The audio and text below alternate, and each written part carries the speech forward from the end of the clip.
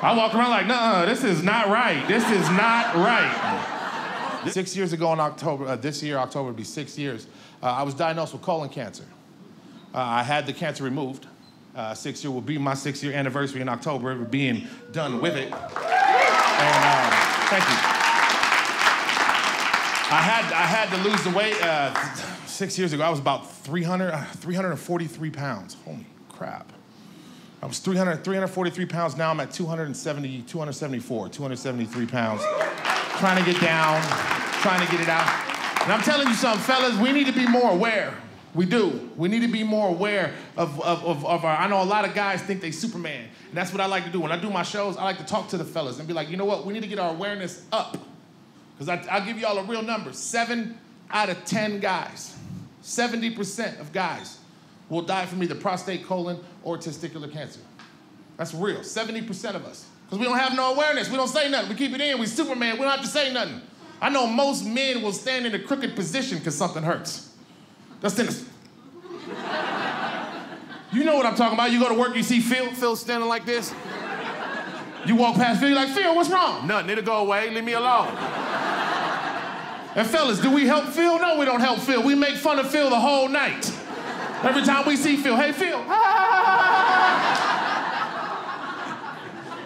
we need to stop. Phil needs to see a doctor, fellas. We need to be aware. We need to be, we need to get our awareness up like the ladies. Ladies, your awareness is fantastic. Fantastic. If there's something wrong in the female world, you will let everybody know. you will stop people. Do you know what today is? But that's good. That's fantastic. You would never let your best friend stand there crooked your best friend was crooked. You be like, girl, what's wrong with you? What's this? Straighten yourself up, fix yourself up. That's what we need to do, fellas. We need to be like that. Don't go through what I went through. Don't wait till the last minute before you gotta go see your doctor. If it's time to go see your doctor, go see your doctor. Don't go through what I went through, because they did a lot of stuff back here.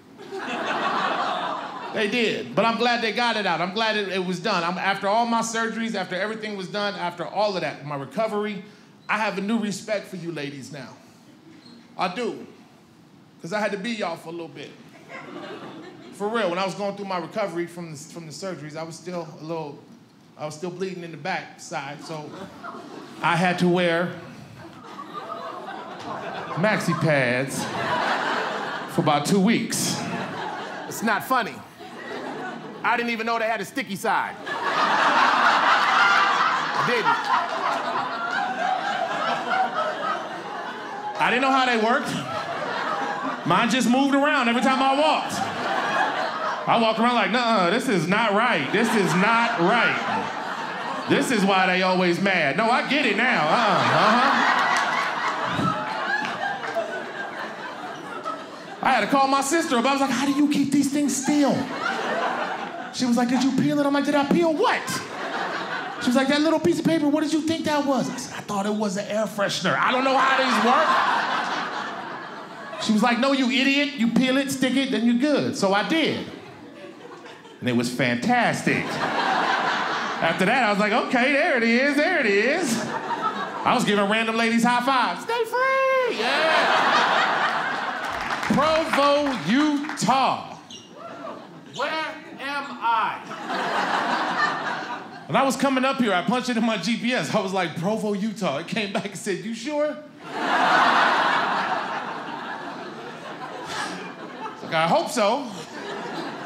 But no, I got here. I got here earlier today. Uh, as soon as I got to town, I got pulled over. yeah, by one of your friendly neighborhood officers, who looked at me and the first thing out of his mouth was, "I'm not profiling." I said, "Don't worry about it. It's okay." Like you see, I you look at me, most folks look at me and they think I'm some type of mean guy or some type of guy that likes to fight or likes to be a bouncer at clubs. I have been. But I don't. I don't like to fight. If you try to approach me in an angrily way, I will hug you. I will hold you. I will kiss your cheek. I will get you out of trying to fight me. I don't want fights. I'm not, I'm, I'm, a, I'm a big guy, but I don't like confrontation. You know, that's why I joined the military. I go overseas now to perform for the troops overseas. I used to be a service member myself. I was eight years in the Marine Corps before. Thank you.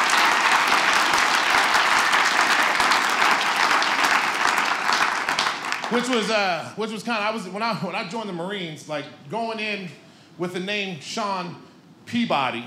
I mean, I know you look at me like, how is he a Peabody? But actually, my full name is Sean Milo Kamakaniki Ili Aloha Peabody. Yes, if you look at me, I'm not Hispanic. I do not cut yards. I've had somebody stop me and ask me, when I was wearing this shirt earlier, they asked me if I change oil. They said I look like somebody that does oil changes. So I changed their oil. It's good money. I need gas money. But my full name, which a lot of people think when they see me, they automatically assume that I'm some type of Latino, Hispanic. They start, even Latino folks start speaking Spanish to me, which I don't know how to take that. Because they come up and they're like, hola, ¿cómo está? I'm like, I don't know. like two tacos, and then I'm going home. But I'm not, I'm Polynesian. That's my Hawaiian name, I'm, I'm Hawaiian. My Hawaiian name's in the middle, is, which is Kamakaniki Aloha, which means winds that carry love from one to another. That's what my name means. Yeah, you say, oh.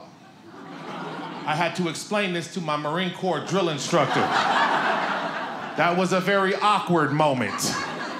Because he seen my name, he was like, oh, Peabody, Peabody, come back here. What's all these K's? I was like, oh, sir, that's my Hawaiian name. He said, well, what is it? I said, it's Aloha. What? How many letters? 18, sir. Then he asked me, he says, what does it mean? I know all these Polynesian names mean something. And I tried for the life of me to come up with something like man will rip off ears if asked too many questions. something manly. This is my Marine Corps drill instructor looking at me in the face, and I couldn't help it. I just looked him straight in the and it came out nice and fluffy. Looked him right in his face. I said, When's that carry love from one to another, sir? And this was back in the Clinton era, so he was like, oh, don't ask, don't tell. Get on the bus. Go ahead. Get on the bus. Uh, I moved up to Boise. I'm originally from uh, the Bay Area, California, is where I was raised. One, one woo. Is that somebody from the Bay Area? I like how I can't find you. You're like, hey, you're like a sniper heckler. You're just coming from the middle of, uh huh.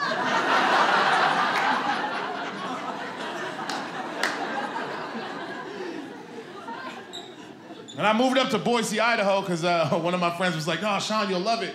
Now, I haven't seen Boise until I was actually driving the moving truck there.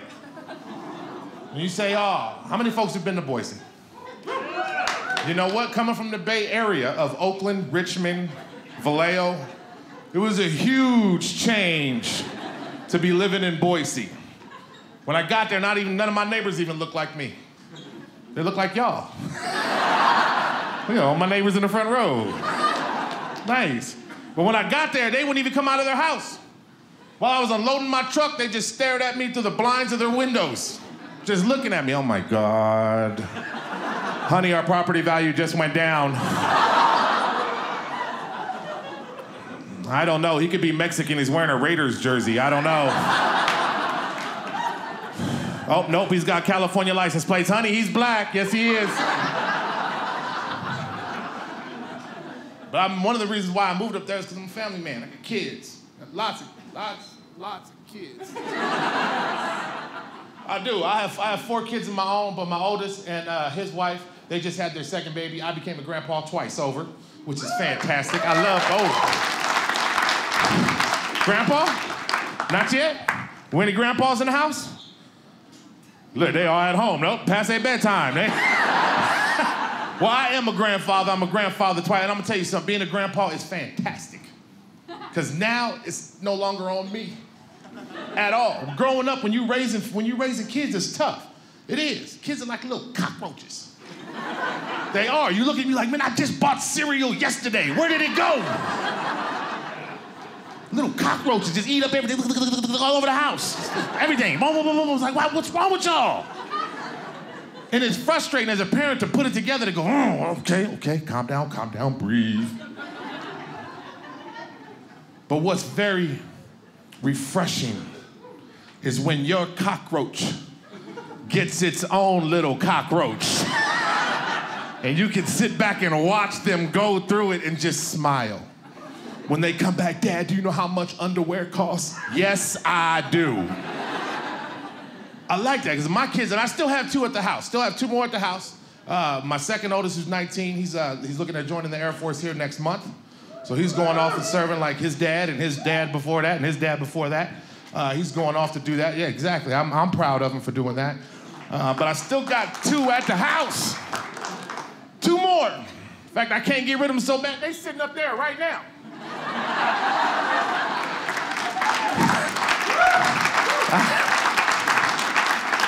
I had to. They said I couldn't leave in the car or something like that. Like, they didn't have enough Cheez Its. And I do. I have three boys, one girl. My girl, she just turned 14. Yeah. I, hope that wasn't, oh, because no, this little girl, I'm telling you something, my, my little girl has me wrapped around her finger. That is daddy's girl. And she does it because she has those big brown eyes, you know, the little ponytails. They look at you like the devil. You standing in the store and your little girl comes walking up, Dad, I need this. what do you say to that? Ah! yes, you do. Go ahead, put it in the cart. No, I get it. It completes the outfit. Of course, you got to get it. Get it. As soon as my boys walk up, hey, Dad, I need this. You need to put that back. That's what you need to do. You need to get a job. I don't care if you're 10.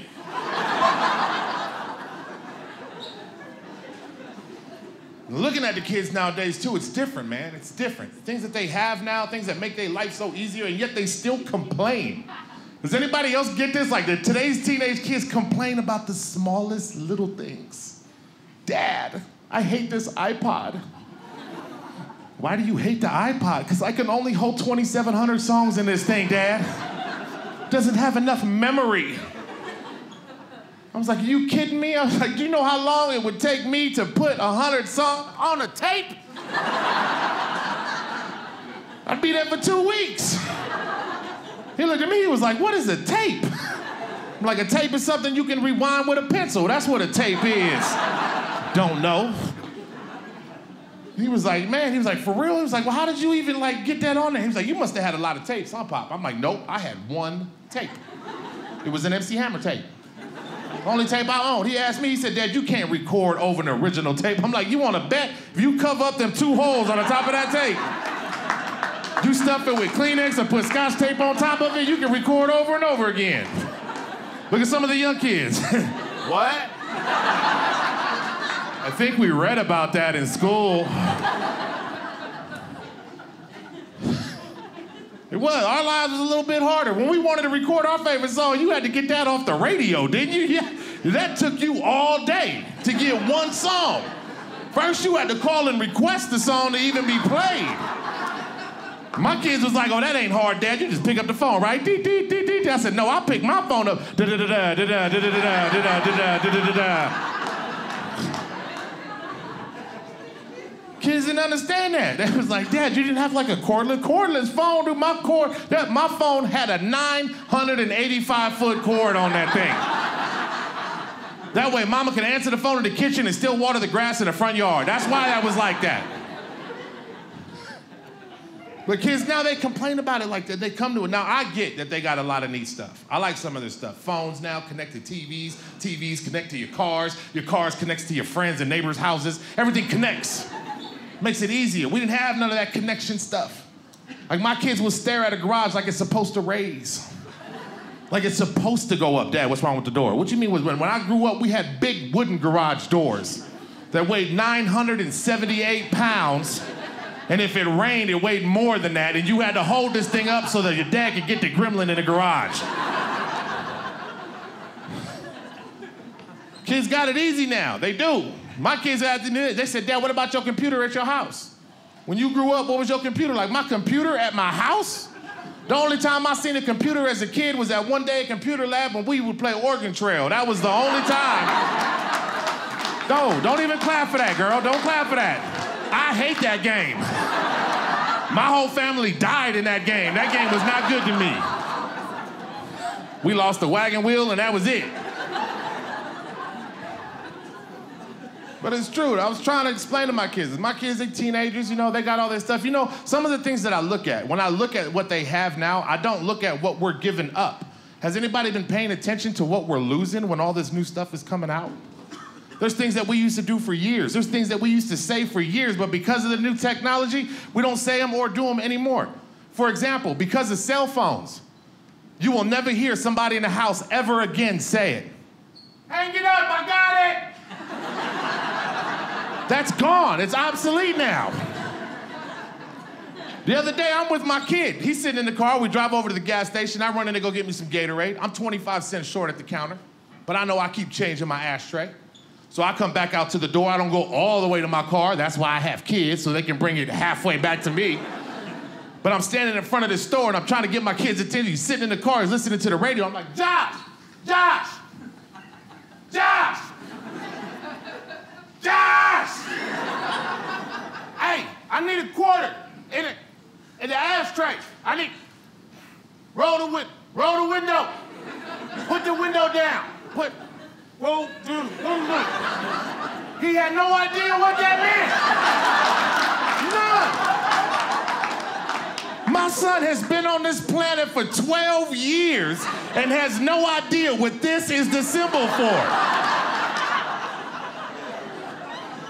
Now, I'm not gonna make funny because I bet you there's at least four or five of you in here right now who still rolls their window down like this.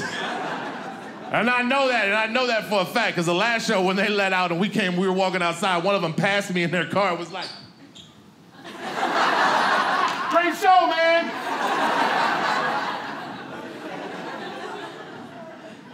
But he had no idea. He looked at me like I told him a riddle. When I left, like,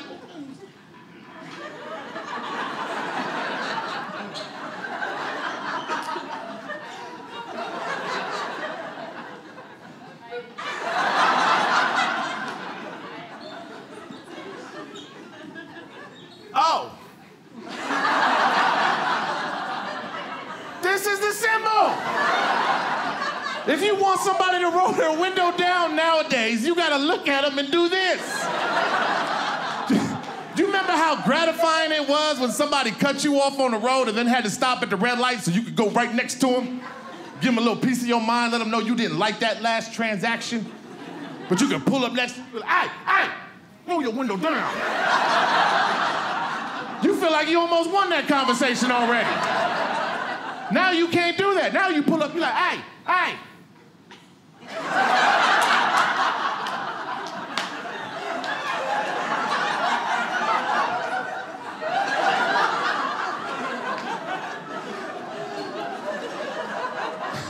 Don't ever pull up next to me doing that.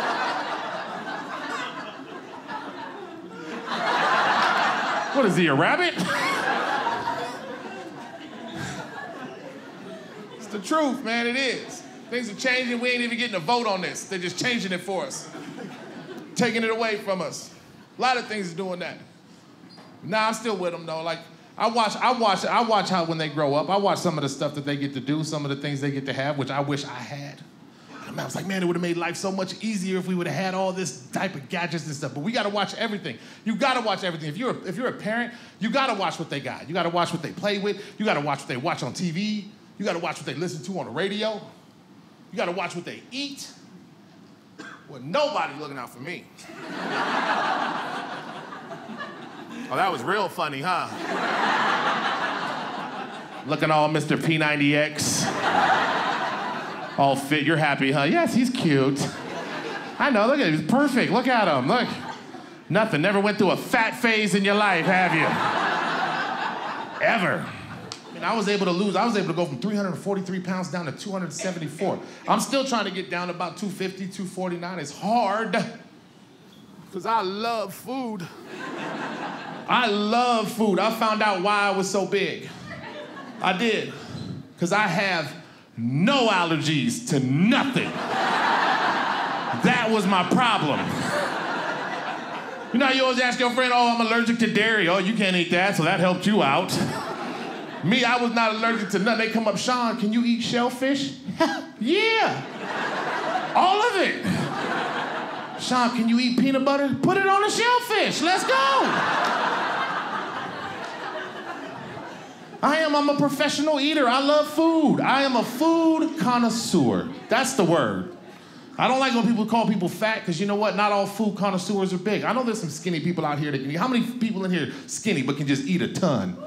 Yeah, look at all y'all that I hate. Especially you. You get you, man. What do you weigh? Man, you just you just you eat and just eat and just eat, just nothing, huh? You go home, oh, I had like eight cheeseburgers. I ate like seven bowls of ice cream. I'm good. Still weigh 110. I stare at a Cheeto, I gain three pounds every single time. I'm envious of you, man. It must be nice to just eat whatever you want to eat, not gain nothing. I'm an eater. I love food. I love the. How many folks in here love food? Like love to put down a good plate. Nice, nice, nice. Look, the whole table, y'all just sat there. All of y'all just sat there. I don't know if I'm gonna tell everybody I eat. You know what? You guys probably look like you're a little confused on whether or not you love to eat. You got that look in your face like, I don't know, maybe, maybe. I tell you what, I came up with a test. Now, everybody can take this test home, try it on yourself, try it on your friends. It's four simple questions. If you say yes to any of these four questions, you love to eat, stop lying to yourself. Number one, if you finish off french fries from any fast food place that you like to go to, by taking the whole cup and turning it upside down and tapping on the bottom so you can get that fry that's hanging on in the corner. Let it go. That fry ain't even working. It's a broken little piece of corner that if it sticks you in the mouth, it pokes you in the gums. Let it go. Number two, if you finish off potato chips by putting the crease in the bag so you can pour the rest of the chips in your mouth. Don't lie. I look around. The worst is if you gotta lick your finger and stick it in the bag and try to get all that dust that was hiding. Some of y'all will go even further and take the whole bag, turn it inside out. But watch some of the things. Number three, if you put something in your mouth that is burning your mouth, but you refuse to spit it out, you actually learn how to chew and breathe at the same time. You the only one at the table.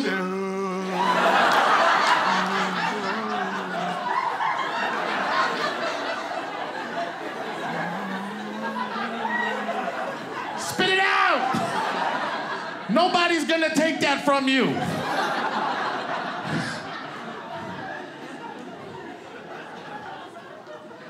and the last, last, number four.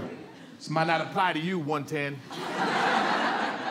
but I know this applies to me. If you are laying in the bathtub, let me finish. It's like you already knew where I was going. He was, oh man, he went there. if you are laying in the bathtub and the water is up to your shoulders, but the minute you stand up, it's only ankle deep, you love to eat. Don't lie. This happens to me all the time. I always stand up like, how did I take a bath in a cup of water? How did I do that? You ever think it's the bathtub's fault, so you sit back down, you watch it come back up? I don't even like this tub.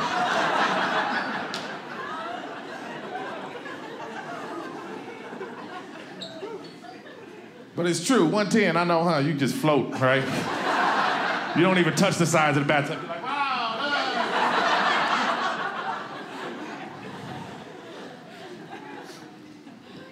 Like, wow, truth. I want to eat. I like eating. I like food. I like doing stuff like that. Now I got to watch out on some of the things I do because there's some things that I got to fix now that I'm an, a grandpa and I got to act mature. There's some things I got to go through. Like there's something that I always that I've always done since a kid. I think everybody in my family suffers from it. I think it just runs in our blood. But we have a problem. We laugh at stuff we're not supposed to laugh at. Anybody else? Really? Just bad, like you just see somebody walk into a pool door. You just you just tell yourself, I wish I was on the other side of that door right now. Because that's what I say. I, I so it's, it's funny to me only because it's, it's human beings that make me laugh. Humans make me laugh because people think, uh, there's a lot of people that think that humans are the smartest animals on this planet. They actually think that. We do stuff we can't even explain. Like, ladies, let me ask you a question. Why is it every time you put on eye mascara, you got your mouth open? Anybody? Watch, tomorrow morning you're gonna be in the bathroom. Ah. I even went to Macy's where the lady puts makeup on for you and she had her mouth open. I still didn't get it. But it's true. But every time I make fun of something when something happens to somebody, every time I make fun of it, something always comes back on me. How many of y'all believe in karma? Do you really? Y'all believe in that? Because it's real. It is. My karma always comes on back on me with some type of animal incident. Every time I make fun of somebody that happened to something else, something happens to me with an animal. I'll give you an example. I was on my friend's boat. We were out in the ocean. Sailboat. There is no other animals. We pulled back to the dock. We're sitting at the dock on the very end of the dock. As we're sitting there, the boat's getting a little cold. I don't want to stay on the boat no more, so I decide I'm gonna get off the boat, go up to the truck, watch Netflix, and turn on the heater. I get off the boat, feel a little better. I'm walking along the dock. Now he parks his boat on the very end of the dock because he doesn't want to maneuver between other people's boats. So on this side, I can't see nothing. Black. That's all ocean. I'm walking this way. I hear the biggest splash next to the dock. Not like a psh. It was like a and I was like, what was that? So I decided to walk faster. As I'm walking faster, out of nowhere, from the night sky, the biggest pelican I have ever seen in my life. I don't even know what a I didn't even know what a pelican was till it showed up. He comes flying up, pow, right in front of the dock, wings out, boom, staring at me. I'm standing there like, whoa, whoa. What are you supposed to do? I thought he wanted to fight. That's what I, I, where I'm from, where I'm, where I'm raised at. If you walk up on somebody with your hands out like this, you want something. So when he landed, pow, and he went like this, I looked the bird right in the face. What, you want some of this? then I forgot I don't know how to fight a I don't know how to fight a bird. How do you fight a bird? You punch him in the beak, you pull his web feet. What do you do? So the minute I squared up on this bird on the dock and I'm standing there like this, like, okay, we about to get this on. The biggest sea lion. Yeah, gets worse, girl. I watch your eyes get big. What? Yeah, yeah, karma. Karma. This is for me making fun of everybody. Now I'm stuck with this big sea lion that comes out of the water, lands behind the bird. Boom! Now I'm like, wow, he got backup. Got nobody.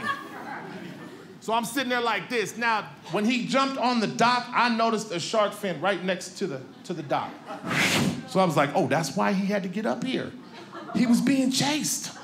That's what was happening. Now, when he got away from the shark, he wanted to tell somebody.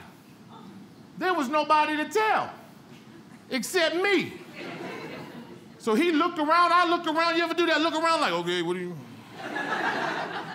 He looked me dead in my eyes, and the sound that came out of his mouth was the best Will Smith impersonation I've ever heard in my life. Because the minute he came out, boom, landed down, looked me in the eyes, and went, woo!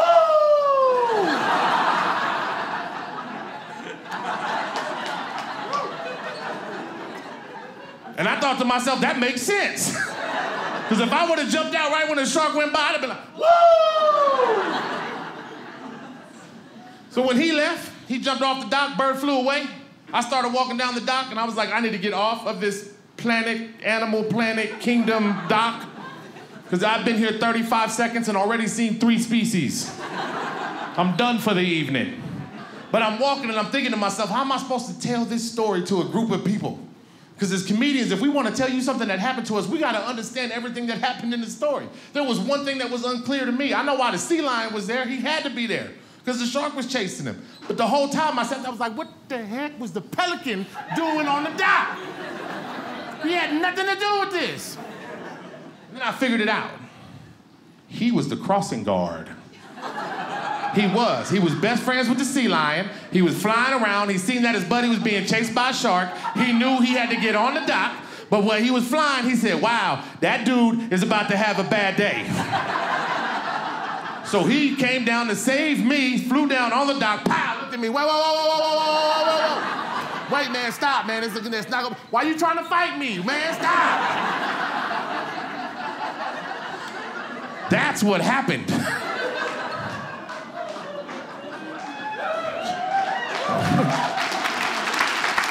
Thank you. Karma. That's, that's the whole thing about it, too. Karma. So watch it. Watch it. If you got to do something with your kids, you got to do something like that, you got to teach them about that. I tell my kids that story all the time. I'm like, don't mess with animals. Leave them alone. Leave them alone, they leave you alone. Doesn't work for me. But you got to teach them that. You got to watch them. You got to teach them all that. It's up to the parents, man. I, I, mean, I know a lot, when comedians talk about kids, and you have a lot of comedians that come up and talk about kids, one of the main things that the comedians always say is kids got to get whooped. Kids got to get whooped. Kids don't get whooped enough. Kids don't get whooped like we used to get whooped. Honestly, I don't believe that. I don't. I think it's a lot of parents that need to get whooped. I'll say that out loud. For real. If you don't believe me, if you don't agree with me, I'm probably talking to you. Just saying, we are the reasons our kids act the way they do. It's up to us. Our kids are a reflection of us. Whatever we do, we gotta, we gotta watch that. We gotta maintain that. And that's why I'm saying, like, if you watch your kids, you watch them grow up, you watch what they do, you gotta be in front of that. You gotta be in front of it all the time. We don't need to beat our kids, we just need to beat them to it. That's it. If you have teenage kids, like, you don't have to beat your kids. You can do stuff to just get on their nerves. That's what I do. You can't beat a teenager. That's not gonna do nothing but make them mad. So you just gotta get on their nerves. You know what I do if my teenager makes me upset? I wait till he goes to sleep. Then I creep into his bedroom and I unplug his phone so he wakes up to a dead phone when he gets up. Yeah. You got that look on your, that would really make me mad. I know it does. The minute they wake up, I thought I put it on there. I thought you did too. Dad, you didn't unplug this? I don't know. Did you take out the trash? No, neither did I. Just stay ahead of that. Stay ahead of it. And I'm glad, yeah, and I'm, I'm, glad my kids got to come down here with me. They don't really get to see me perform a lot. So I'm glad they got to come down here and be here with me tonight because it was like this, this was, it, I, I know that they have certain things that I'm jealous of, and I know that they have certain things that they do, but I love my kids. Like, you got to love your babies. You have your babies, you gotta love your babies, you gotta be on top of that. Watch what they do, watch what they watch, stay with them. Do stuff with them. Don't end up with stuff. Don't, don't end up with your kid beating you up in the store. I see that too much already. It's like that shouldn't be happening. That's on the parents. We got to act as parents. That's what we have to do. We got to be the parents. They not the parents. They don't get to negotiate. My kids come in, Dad, I have rights. Do you? but you got to. You got to be on them like that. And I'll give you, I'll give you an example. I'll give you an example. The, uh, before I leave, uh, I, I'm gonna tell y'all one of my favorite jokes. And this was told to me by an audience member at the end of a show. Every time we do a show, every time I've done a show, I've always had one person walk up to me and tell me a joke. It's gonna be somebody in here, I know it is. Because this looks like that group. It's probably gonna be you. it might be 110. 110, you've been contemplating with your hands folded. But it might be one of y'all. And I had this gentleman come up and tell me a story about a father and a son and a mother, and it was, it was so. I, I've heard a lot of jokes. I've heard a lot of them, but I had never heard this joke before. And when he told it to me, I actually spit my drink in his face. he got to the punchline. I wasn't expecting it. Cherry Coke out my mouth into his face. I apologize. I bought him a new shirt. But when he told me the joke, I laughed. It was the, it was the best. I can't. I want to laugh now. Y'all want to hear the joke? Okay, hold on. I got I got to maintain. Hold on, get my bearing. You ever try to tell a joke but you want to laugh too? Shh. Me wait. Okay, okay, we can do this. We can do this. okay. Because if I laugh, it's not gonna all come out. Okay. Shh.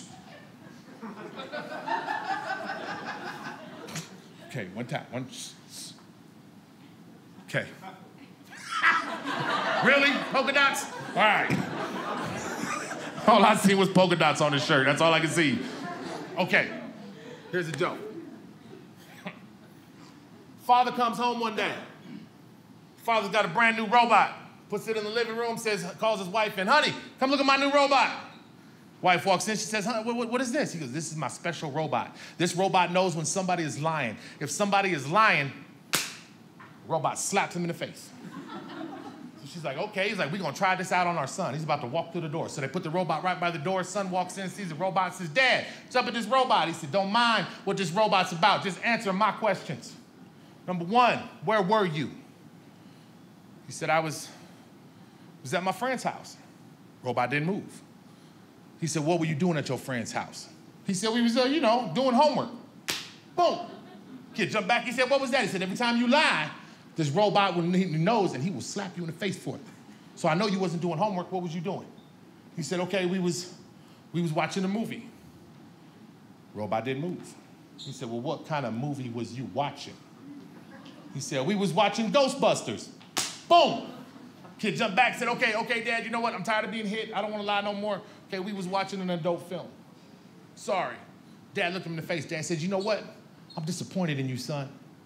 When I was your age, I never watched adult films. Boom! but that's when the wife was like, see, he is your son.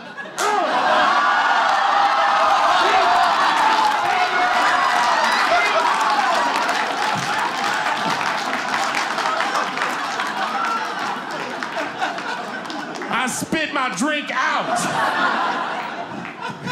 hey, Provo, you guys have been fantastic. Mahalo. Thanks for coming out.